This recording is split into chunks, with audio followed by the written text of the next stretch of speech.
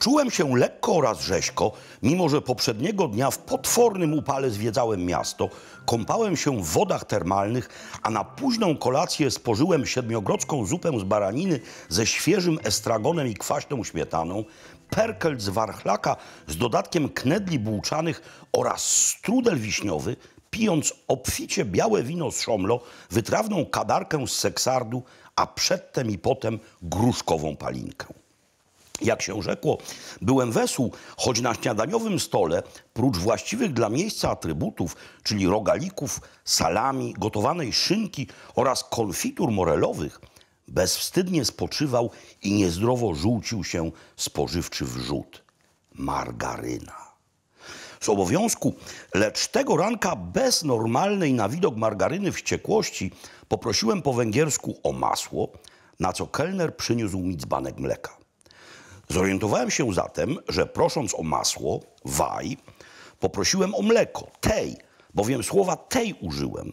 Zatem jeszcze raz poprosiłem o masło, waj, tym razem prosząc o waj, masło, a nie o tej, mleko.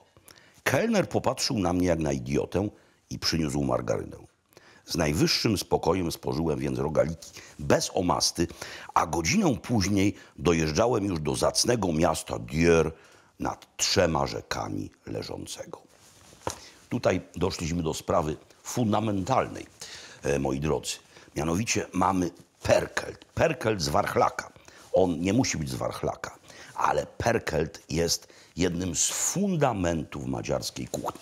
Tak więc trzeba powiedzieć, jakie są te filary, jakie są te kariatydy, które madziarski kocioł podtrzymują.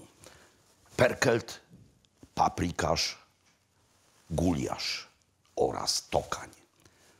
Trzy pierwsze, perkelt, paprykarz oraz guliasz, są to dania, które każą użyć zawsze i wszędzie tłuszczu, cebuli oraz papryki w proszku.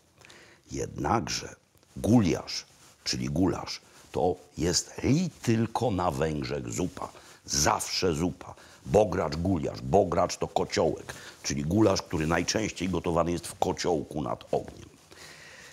Paprykarz, choć zaczyna się go robić tak samo przez e, podduszenie w tłuszczu cebuli i rozpuszczenie w tym papryki w proszku, jest najczęściej z białych mięs, albo z ryb, albo też z jarzyn, bądź też grzybów. I zawsze, ale to zawsze jest zaprawiany śmietaną. Jest daniem drugim niezupnym. Natomiast perkelt, samo słowo perkelt oznacza po węgiersku prażyć.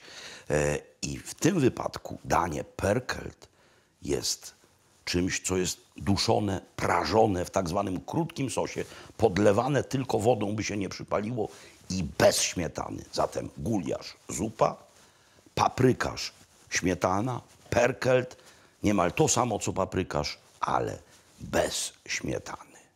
Jo.